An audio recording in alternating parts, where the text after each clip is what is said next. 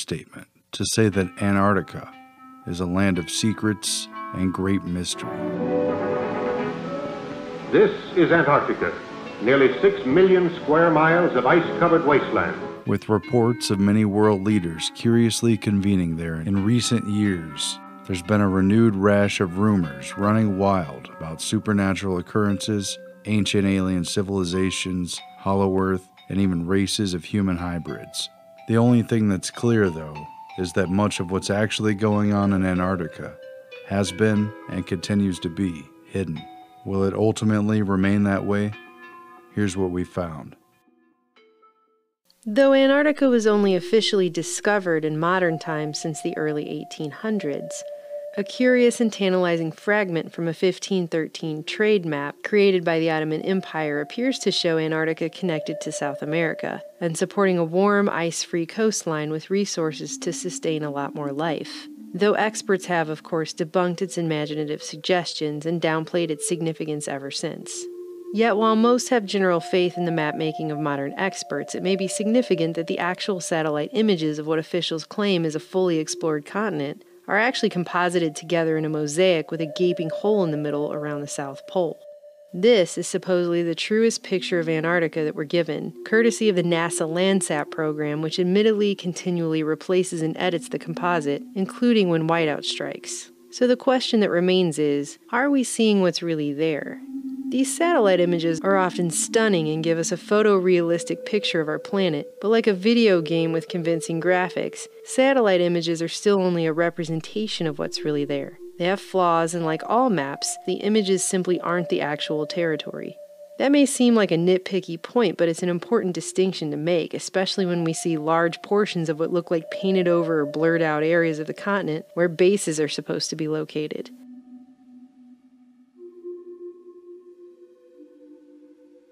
Considering even super secretive Area 51 shows up pretty clear on Google Earth, you have to ask yourself what's really in Antarctica that in 2017 we still supposedly don't have sophisticated enough technology for the general public to see it? Investigations that West Antarctica and East Antarctica are actually two continents separated by an under ice channel have largely been upheld. The Transantarctic Mountains and the chain of mountains up the Palmer Peninsula connect with the Andes Range, nearly touching South America where they were once connected by a land bridge. The questions began as soon as Antarctica was quote unquote found. Have they or will they unearth something significant from humanity's past? Despite being told the entire continent is basically an icy, barren wasteland where hardly anything could survive or thrive, with no native human population other than visiting scientists. Freezing wastes without people, without life, without vegetation. Nature's most formidable challenge to man. Earlier reports show this is simply not the case. All the way back in 1893, Captain Larsen reported discovering petrified wood and worms on Seymour Island as well as a captivating area with dozens of clay balls placed on top of what looked like pillars, which had the appearance of having been made by the hand of man. But these were later dismissed as basalt that happened to collapse into the appearance of carefully sculpted clay balls on top of pillars. Between 1928 and 1930, then Commander Richard Byrd completed the first of five major modern expeditions to explore the Antarctic, and right away his team were captivated by evidence that there had once been a warmer climate while they were surveying vast tracts of otherwise icy land at the bottom of the earth. This expedition, which cost $400,000, was financed by Edsel Ford and John D. Rockefeller Jr., among others. A 1930 article on Byrd's first mission noted, quote, They expect in time to solve what is perhaps the world's greatest mystery, the existence of extensive vegetation of the vast uplands near the South Pole thousands of years ago, noting sufficient geological evidence to prove that at one time Antarctica was once warm enough to support at least a rich vegetable life. In 1947, the U.S. Navy claimed they found a place they named the Bunger Oasis, though it may have been explored earlier. The Soviets established a research station there during their expedition in 1956 at the now defunct Polish A.B. Dabrowski Polar Station, in a fascinating 200 square mile iceless area. At the same time, it was noted that the Russians moved so much equipment and supplies into the oasis that Australian and New Zealand diplomats were convinced they may be setting up permanent air and submarine bases there. No wonder that one of the most compelling anomalies spotted on satellite images of Antarctica is only 35 miles from the Soviet base, in what appears to many to be a domed metal lid over some sort of underground entrance. In the meantime, no one has even confirmed or fully debunked the suspicions of conspiracy theorists on what this image even shows. Throughout further wide scale explorations in the 40s and 50s, scientists on military expeditions reported finding ice free oases with waterfalls cascading down rocky cliffs into dry valleys containing freshwater lakes on the interior of the continent, mountain ranges reaching thousands of feet above icy wastes, fossilized trees, and even the remains of petrified forests. In 1957, the U.S. military acknowledged finding at least two other oasis locations in Antarctica only a few hundred miles from the South Pole, both free of ice and large enough to house entire air bases. But the military wouldn't disclose the locations to prevent other nations from potentially establishing bases there. These oases reportedly have a radically different climate from the rest of the continent, places free of ice and snow where the soil can reach temperatures of 77 degrees Fahrenheit at midday, and warm winds blow over freshwater lakes where strange specimens grow. While transversing the interior, a seismologist gave his account in 1958 of coming across a fresh lake a 100 yards across with pinkish flowers growing in the bottom of it, which he could not identify. Experts have concluded these areas could sustain year round human settlements, Yet these highly contrasted landscapes are often difficult to spot when browsing through satellite imagery for whatever reason. Antarctica's past life as a tropical oasis is further upheld by the discovery of geothermal heated lakes, where almost any form of life could have survived and even continued up until this point, even while the rest of the continent froze over. The Russians at Vostok Station confirmed the discovery of a huge freshwater lake buried nearly two miles under the ice cap that they named Lake Vostok. It has attracted a great deal of attention ever since they've successfully drilled through the ice cap and collected active biological samples of living bacteria from a liquid lake that has otherwise been an isolated ecosystem for what scientists claim is as much as 15 million years. Located at the so called South Pole of Cold, Lake Vostok is nearly as big as Lake Ontario, and at 6,000 square miles in surface area, 160 miles in length, and 30 miles of width, it measures to an astounding depth of more than 2,600 feet at some points. Its scientists claim they've found more than 3,500 life forms, as well as rich fossil evidence from a time that they've up until now known nothing about. Even more curious, however, was the confirmed discovery of a huge magnetic anomaly on the east coast of this underground lake that spans a vast 65 by 47 miles. Mainstream scientists hypothesized that a thinning of the Earth's crust at that location caused the anomaly, while others suggested a meteorite hit there, while still others suggest that the dimensions of such a significant magnetic anomaly could signify a lost city on the shores of the underground lake. With so much secrecy shrouding Antarctica, do you think the public would be told if something were found there? Interestingly, it parallels the plot to the film 2001 A Space Odyssey. Scientists on the moon unearth a vast tychomagnetic anomaly that proves to be a monolithic signal device from an unseen extraterrestrial race. Hundreds of these subglacial lakes are known to exist, and most remain still unexplored.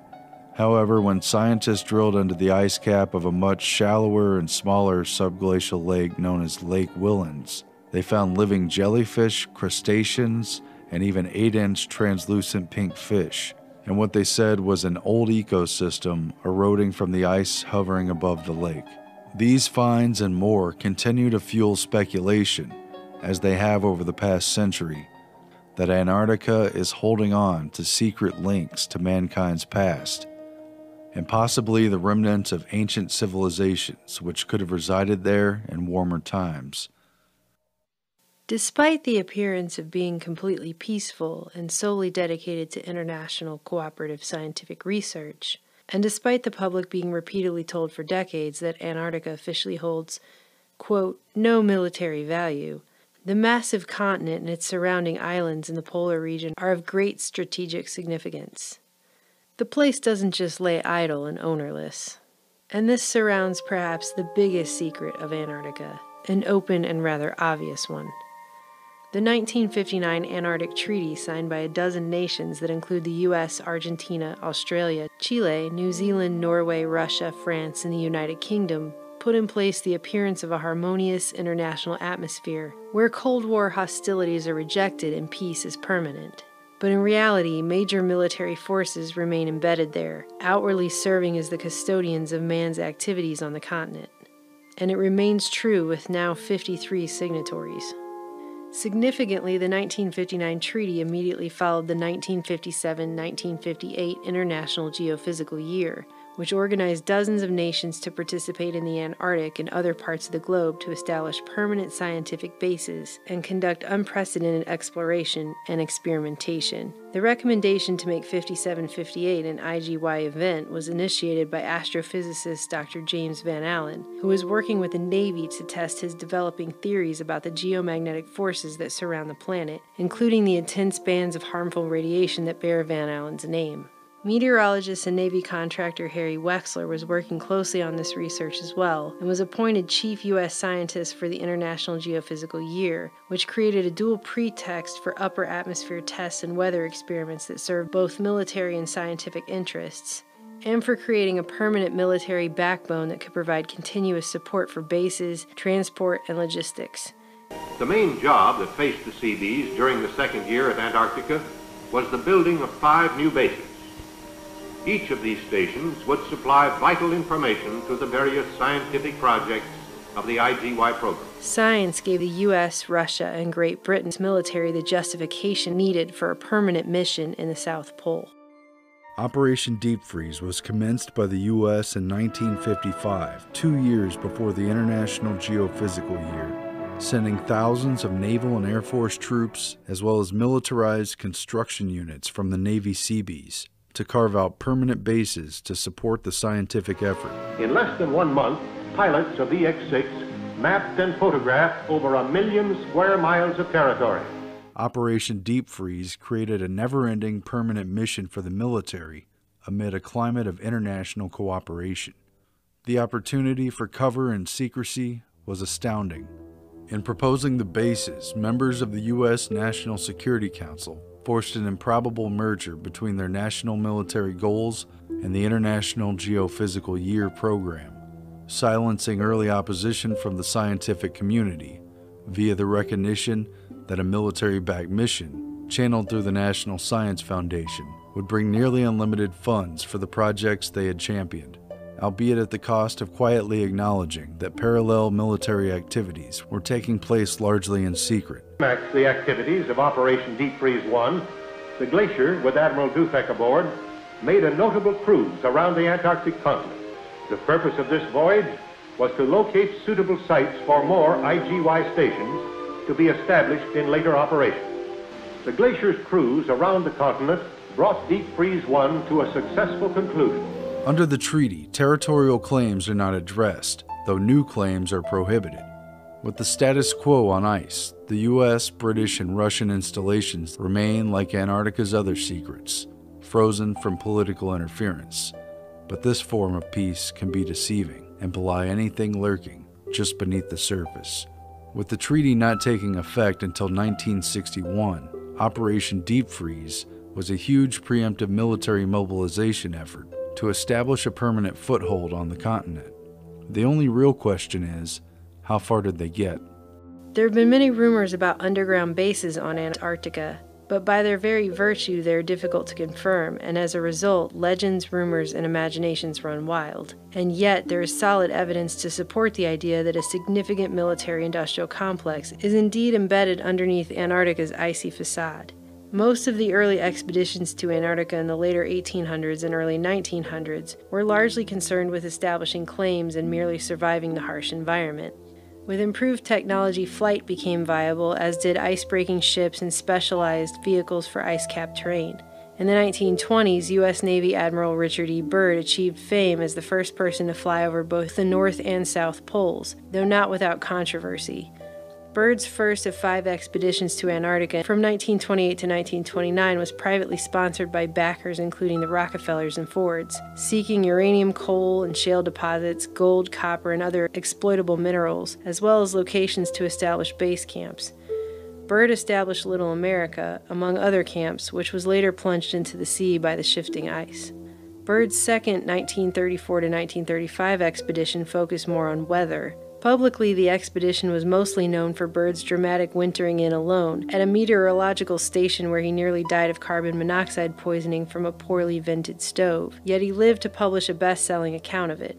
Behind the drama, it was a major effort to study the relationship between seismic activity, geomagnetic forces, atmosphere, and weather.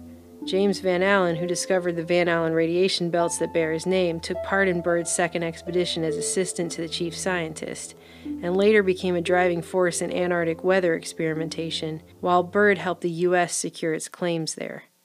Hitler's right hand man, Hermann Goering, personally signed off on Germany's third expedition to Antarctica, and its first since before World War I. This became the infamous Neuschwabenland Nazi expedition, launched in 1938 and completed officially in 1939, just before initiating war with Poland. It was to be a secret reconnaissance expedition, with only 33 members plus the ship's crew. Following a German whaling expedition in 1937 to 38, it aimed ostensibly at increasing the production of fat for the coming war effort. However, the real mission was clearly to establish permanent bases for Nazi raids and other naval activities. The Nazis staked out claims and dropped flags from planes over a large 231,000 square kilometer area, taking some 16,000 aerial color photos, along with prospector data to support legal claims based on the right of exploration, utterly disregarding previous claims by Norway over Queen Maud Land. Finding out about the secret mission through their German diplomat, Norway quickly attempted to annex the territory by decree three days before the Nazi expedition even reached Antarctica. But it didn't deter Germany, who issued a decree in August 1939 after the mission, establishing a German Antarctic sector, officially called New Schwabenland. Less than a year later, in 1940, Germany had invaded and occupied both Norway and Queen Maud Land. Even mainstream historians admit officially that there is evidence of at least minor Nazi coastal bases in Antarctica, ones that were large enough to dock German battleships during the war. But there's no clear record of activities beyond that. Unofficially, rumors allege that several Nazi U boats that disappeared from the records had carried top officials, including Hitler, to the South Pole after the war, and that a more extensive and permanent base existed. If this holds any truth, one possible location for a substantial fortress would have been the 200 square mile ice free Schirmacher Oasis, which the Nazis had first identified from the air and which supported numerous international stations after the war. Either way, after their 1938 39 Neuschwabenland expedition commenced, Admiral Byrd was sent to Antarctica from 39 to 40 on a U.S. government sponsored mission to establish permanent bases, further exploration, and most assuredly to spy on Nazi efforts there.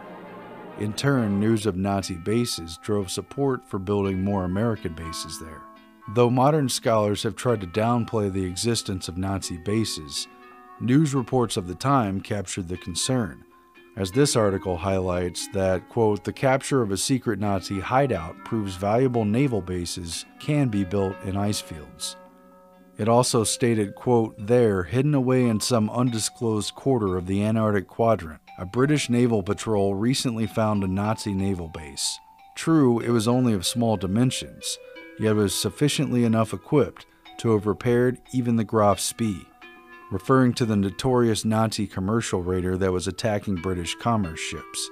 A 1942 article asked U.S. naval bases in the Antarctic and began discussing, quote, the possibility of using the Antarctic continent as one of the jumping off places for the great naval offensive that would wipe Japan's rising sun flag off the face of the southern seas. And it discussed how it would become a pivot from which we could guard and control both the South Atlantic and the South Pacific. Clearly, Antarctica had become an important military position. Admiral Byrd also made this point at the time of his 1940 expedition, saying, As we all know, the Panama Canal may be under attack someday. It may even be destroyed by a hostile power. The Navy has to think of such a possible eventuality. That is why Antarctica looms in strategic value. The British formalized its efforts to surveil and counter Nazi presence in the Antarctic during World War II under Operation Tabarin, where they sought to establish major Antarctic bases. The name Tabarin references a famous charlatan and street performer from the 17th century who used trickery and guile to hawk snake oil cures and put on provocative acts.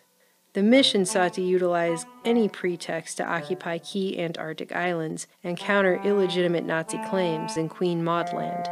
The British saw it as a power play to stave off Axis domination of the southernmost routes, especially between South America's tip and the Upper Peninsula.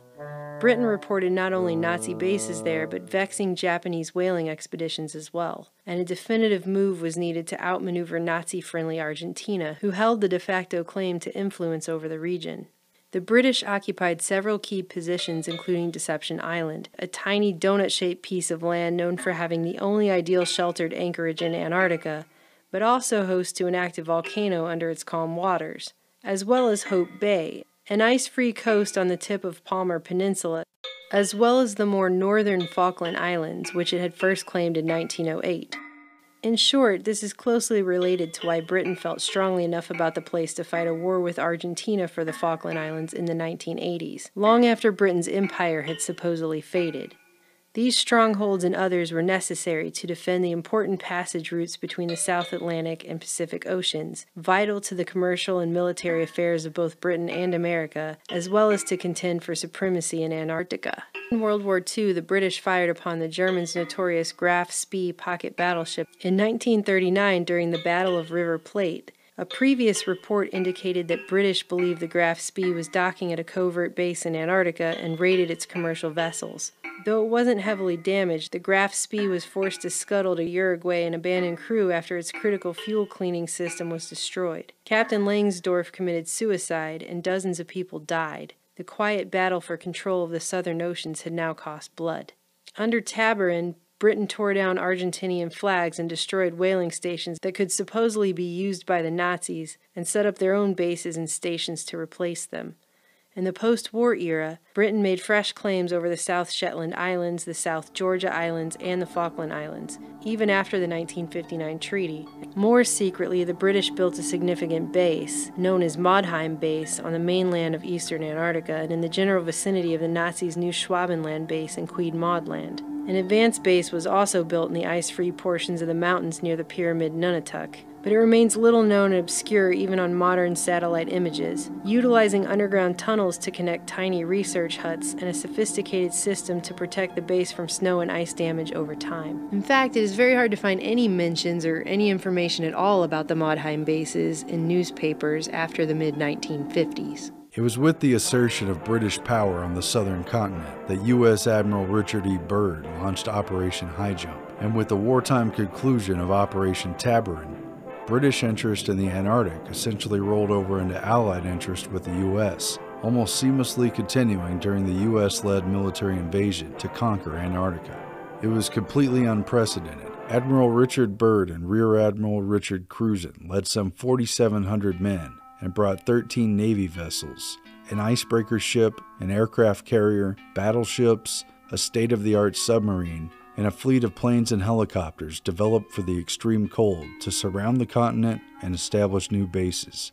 This largest ever polar deployment served as an exercise for cold weather warfare to oppose communist aggression and came with the talking points of protecting against an enemy operating from the poles and able to mobilize very quickly. Thus, the U.S. intended to establish a permanent presence there.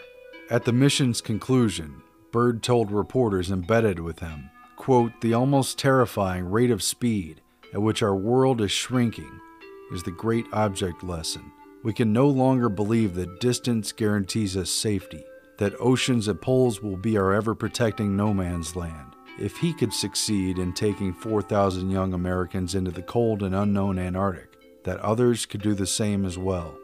But Admiral Byrd was forced to retreat from the mission after only a few months. Newspaper accounts blamed the ice and the freezing up of the waterways. the same excuse mentioned ahead of time in papers before the expedition departed.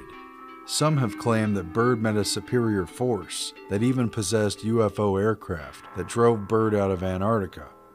But this account is largely substantiated by a quote which attributed Admiral Byrd as saying, In case of a new war, the continental U.S. would be attacked by flying objects, which could fly pole to pole at incredible speeds.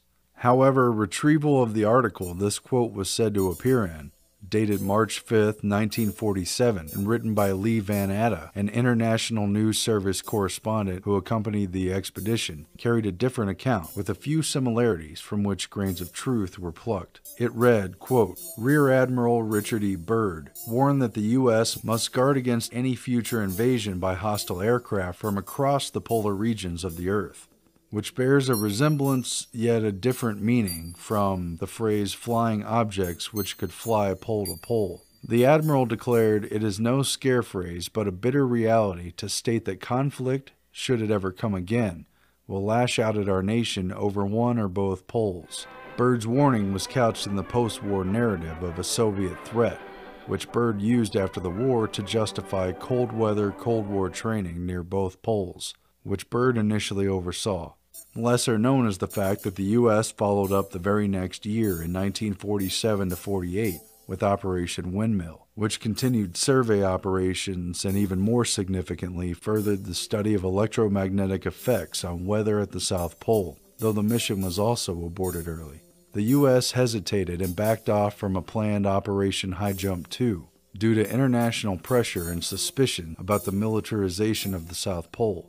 Instead, it opted for the peaceful approach of Operation Deep Freeze that began a few years later in 1955, just ahead of the international treaty.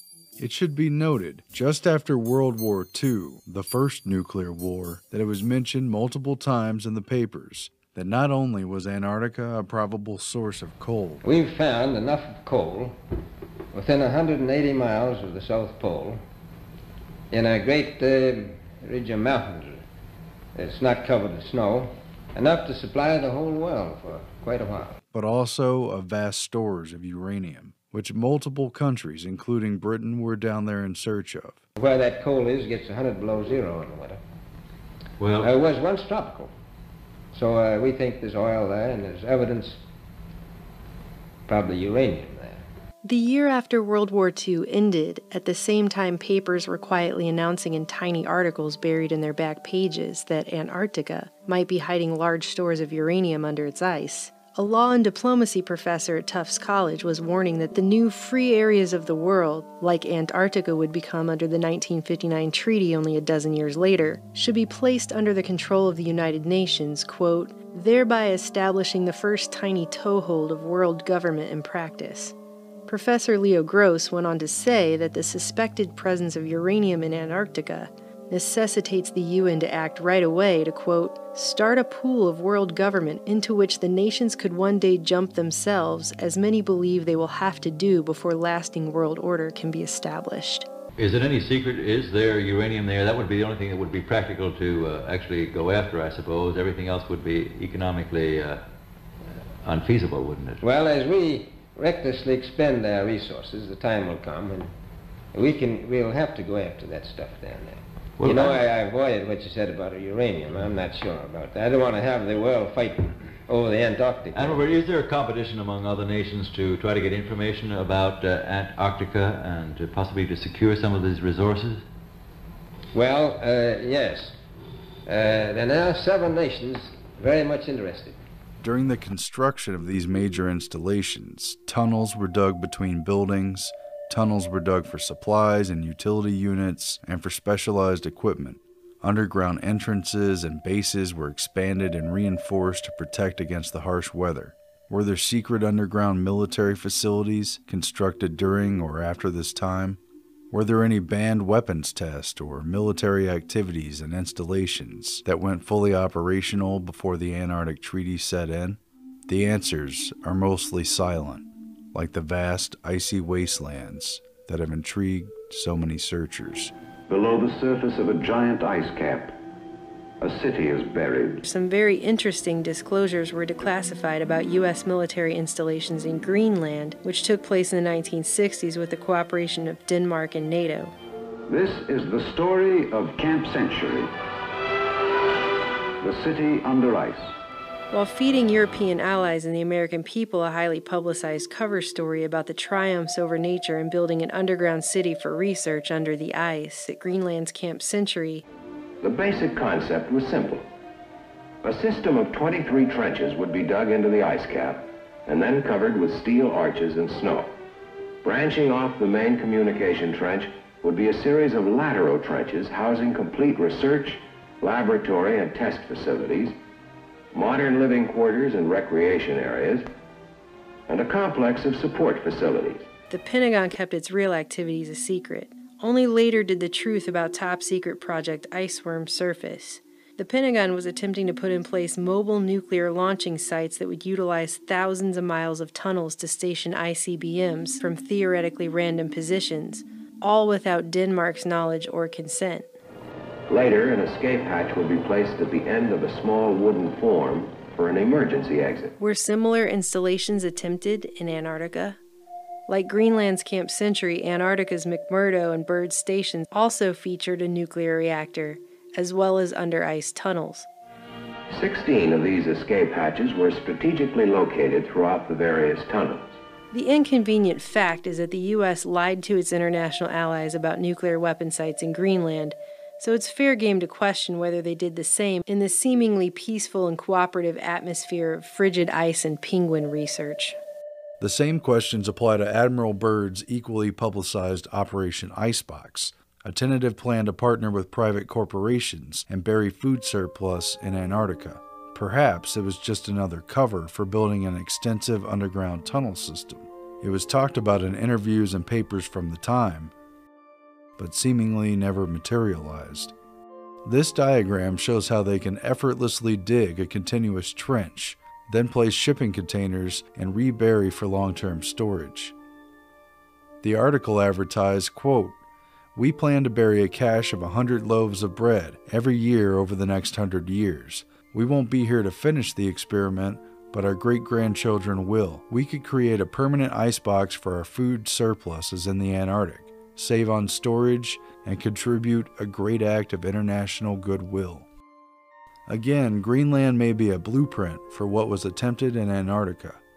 It should also be noted that the 1961 Atomic Energy Commission had completed an extensive labyrinth of underground tunnels in the Nevada desert for the purposes of underground nuclear testing. The agency told the AP at the time, quote, the tunnels are being constructed for any use deemed necessary if and when the administration decides to resume nuclear testing.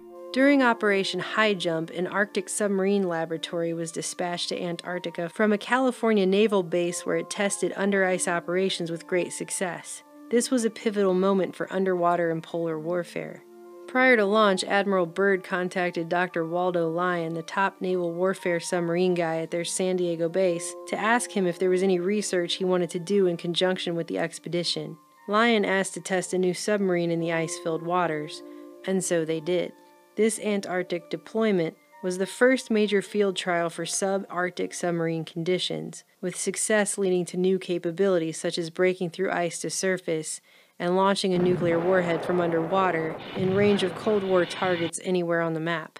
Moreover, thousands of men were deployed to DEW-line distant early warning stations in North Canada and Greenland, and to submarines and aircraft patrolling the Bering Sea and northern Arctic waters under training originally supervised by Admiral Byrd. No further military tests were ever admitted in Antarctica, despite a massive militarization on the ice. And what came of the breakthroughs in ice core drilling, ice melting cryobots, deep sea sea lab experiments designed for Arctic waters, and the 500 meter depths of its continental shelf? All of this must have made Antarctica's frozen abyss more accessible. Yet, has anything significant been found? Have any bases been constructed there using tunnel boring systems, utilizing natural caves or geothermal hotspots? It's a big continent so it's a very intriguing and perhaps plausible maybe. Again, Greenland may be a blueprint for what was attempted in Antarctica. Another little known and underexplained role in Antarctica is that of NASA engineers, who sent units to train for conditions that might be found in space.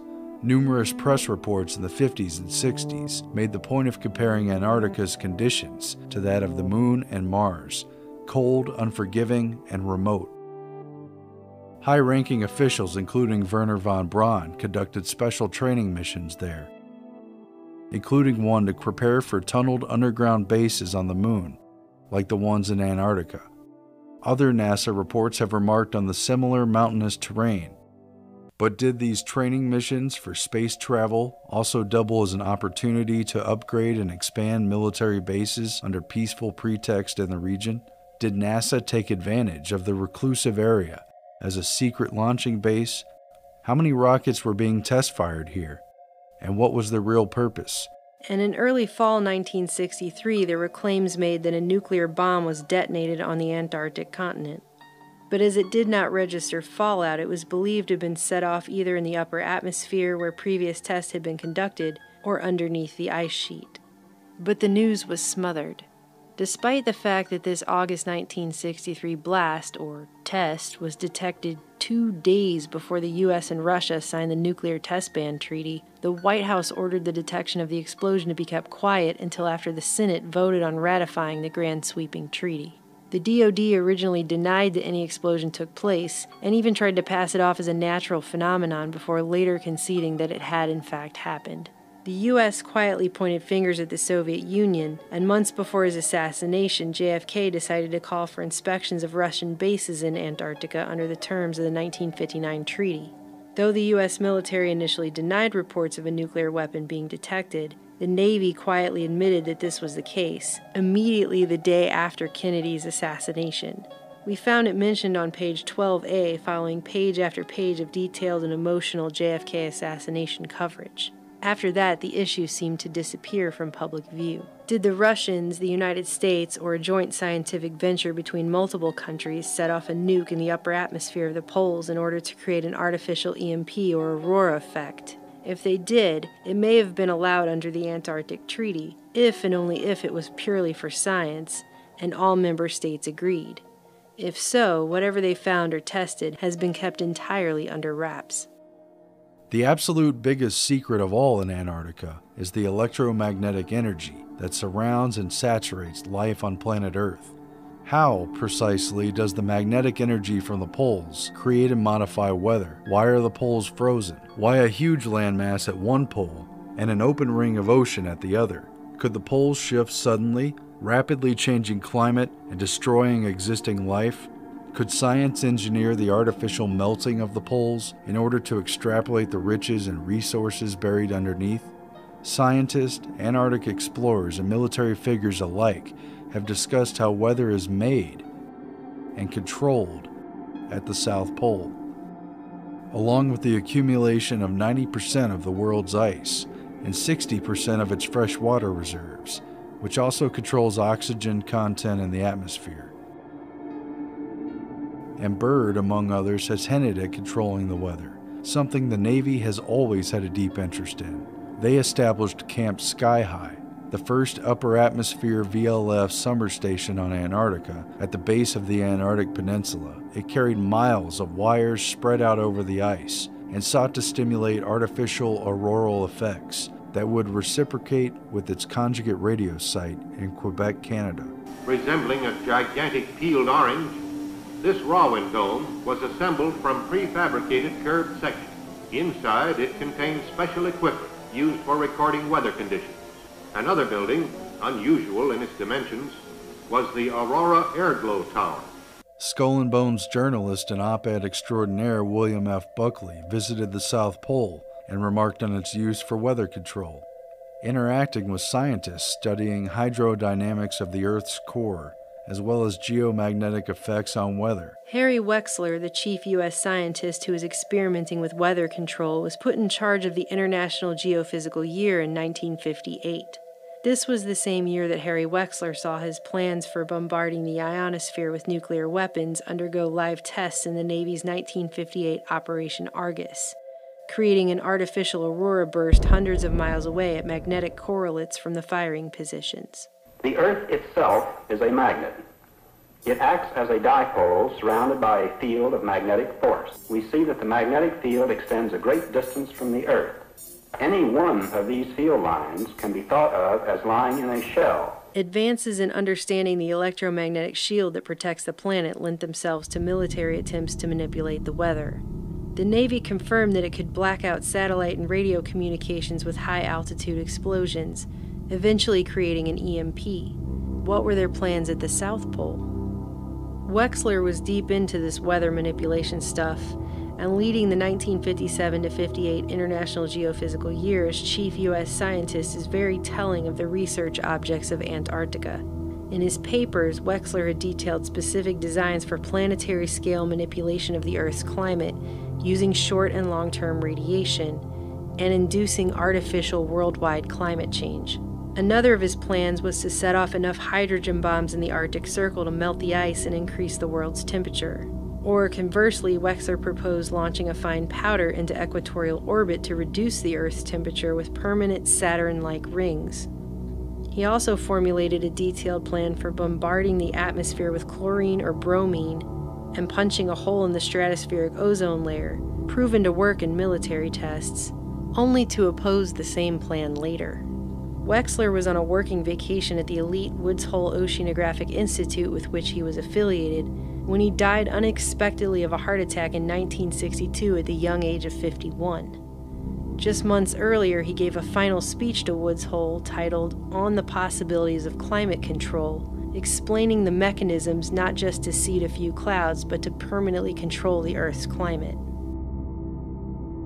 The terms of the 1959 Antarctic Treaty barring military activities and preserving the world south of the 60 degree south latitude line for science does not apply to U.S. Navy operations on the open seas. If any kind of atmospheric heater, HAARP device, or SBX 1 radar device, or even a nuclear submarine is used to manipulate or alter weather offshore, there's no jurisdiction over its activities there outside of military doctrine and secret government control. And then there's the totality of it all. Support for international scientific research trumps all other considerations in Antarctica. Or perhaps it has provided the ultimate cover for maintaining a massive, permanent, off limits continent that is one and a half times the size of the U.S., and within which they can run black projects away from the prying eyes of almost everyone else on the planet. Between the big push with Operation High Jump in 1946, where at least 190 Americans were left behind to continue operations, on through the next 15 years when the U.S. Navy and Air Force became the de facto custodians of the southern continent, the military took responsibility for at least five American permanent research stations with underground facilities, multiple atomic reactors, living quarters, and supply and transport for thousands of scientists around the continent. Great Britain had multiple expeditions to Antarctica during the late 1800s, the early 1900s, in World War I, and with classified operations during World War II, after which they never left, and their actions on the continent during that time are even less publicized. Russia, then the Soviet Union, has maintained permanent residence down there since World War II as well and again, in the spirit of international scientific cooperation, Antarctica never saw the Cold War the rest of the world lived in fear of for decades.